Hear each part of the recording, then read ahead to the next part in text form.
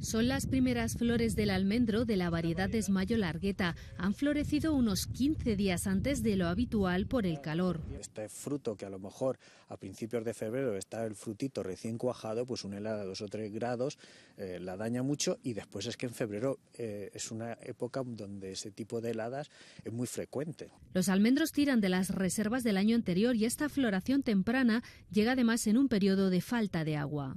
Venimos de un verano pues muy cálido, eh, con una sequía muy importante, ¿no? Y eso pues al final la acumulación de reservas pues será más escasa y va a influir pues en los procesos de floración y también de, de fructificación. En estos campos de experimentación del ITAP estudian una veintena de variedades. Aquí las extratardías, como la penta, están todavía cerradas. No hay variedades buenas ni variedades malas, sino variedades que se adaptan mejor a unas condiciones climáticas que nosotros tenemos en nuestra zona concreto. Por eso recomiendan informarse antes de iniciar un proyecto. Una variedad u otra puede suponer la viabilidad o no de las explotaciones.